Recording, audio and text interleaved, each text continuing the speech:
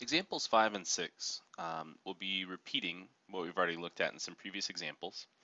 Um, so what I'm going to do is give you some quick results so that you could run through these examples on your own, verify those, and then make sure you would be able to compose the correct uh, written portion to your conclusions. So in this case, we're, using, we're looking at dependent samples because we've got data that's paired by the month in which it occurred. So we've got dependent samples. We would conclude that both samples come from normal populations. So since the conditions are met to test claims about means, we'd be running a paired t-test. And we would get a p-value for that test of 0.0014. So that should be enough for you to verify that you're able to work through that problem, but then make sure you can come to the final conclusion.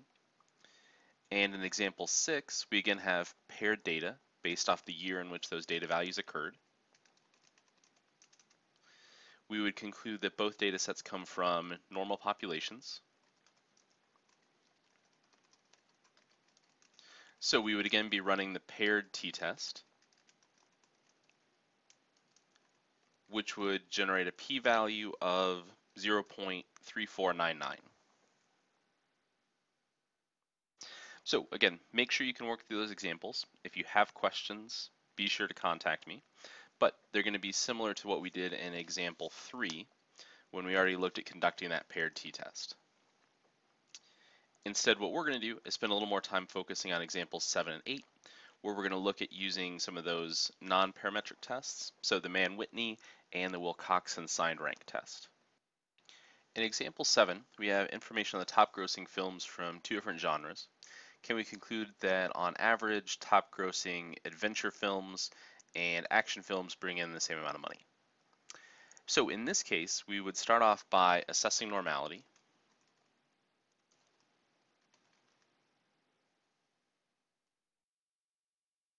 Keeping in mind that only one of our data sets has to fail that condition um, before we can't estimate or test claims about means anymore. So in this case, we would assess normality and the Shapiro-Wilk test on the action movie data set would give us a p-value 0.003, which would be less than our value for alpha. So we would conclude that comes from a non-normally distributed population. So again, you want to make sure that you can complete those steps. But we're going to jump ahead and say since the conditions are not met to test claims about means, and we have, in this case, independent samples, because even though each of our data sets has the same number of values, there's nothing that pairs our values in the left-hand data set, the adventure movie data set, and the right-hand data set. We could juggle around those names and values, and it wouldn't change the information. They're not paired by year, date. There's no special relationship between those values.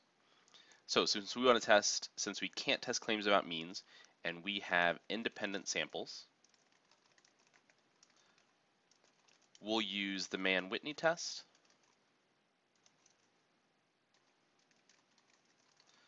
to test the following hypotheses. And since I'm running out of room a little bit here, I'm just going to condense this. So our null hypothesis would be that our two population means are equal to each other. Or another way to say that would be that the two, I'm sorry, the population medians. So that the difference between those medians is equal to zero.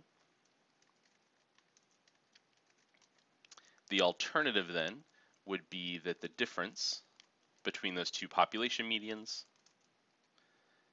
is something different than zero. So to run the Mann-Whitney test, we'll select stat, non-parametrics, and then Mann-Whitney. We'll select our first data set, second data set, and then in this case, not equal to is our default alternative statement. So we click compute and generate a p-value of 0.0147.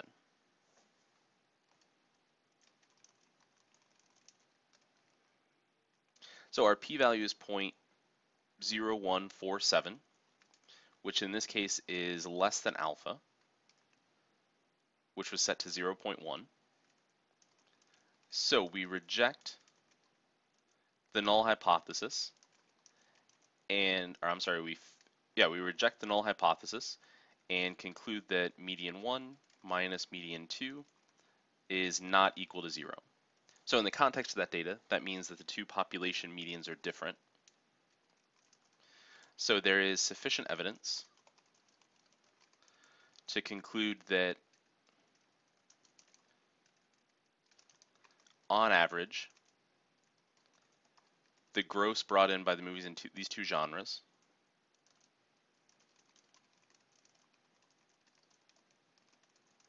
is different. So in this case, the claim is not supported. We can't support the claim that on average, these two genres bring in the same amount. So again, in this case, using the Mann-Whitney test, because we can't test a claim about means, because we have one of our data sets coming from a non-normal distribution, and we have independent samples. In our last example, when wildfires break out, um, they're fought from the air and at ground level. Table below provides information on the number of firefighters killed on the ground and in aircraft by year. Can we conclude that on average, fewer firefighters are killed in the air than on the ground while fighting wildfires? So again, our first step that we're going to gloss over, but you'd want to be able to write that full um, process out would be assessing normality. And in this case, when we look at the ground level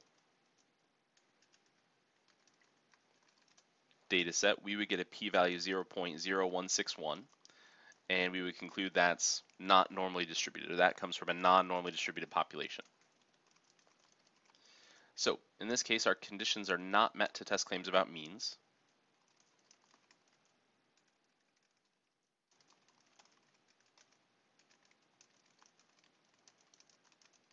And we have, in this case, dependent samples because we have data values that are paired by the year in which they occurred.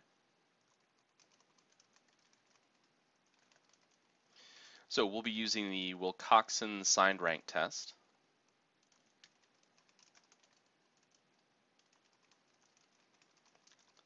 to test the following hypotheses.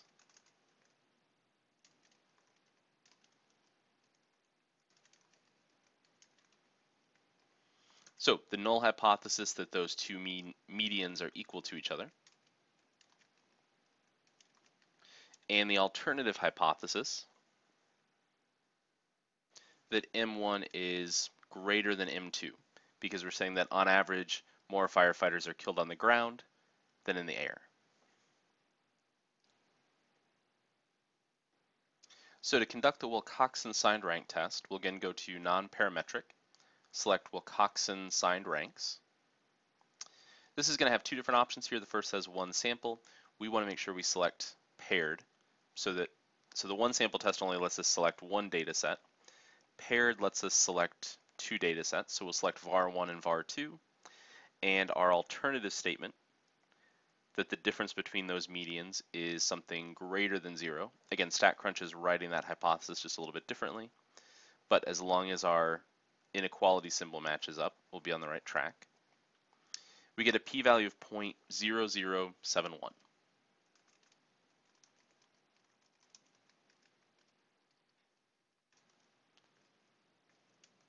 So in this case, that's less than our value for alpha, which equals 0.05.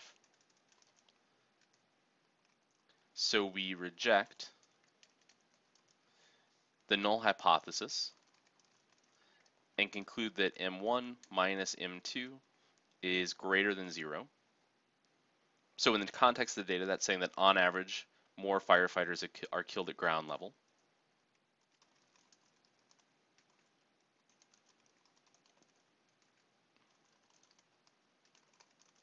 So there's sufficient evidence to conclude that on average,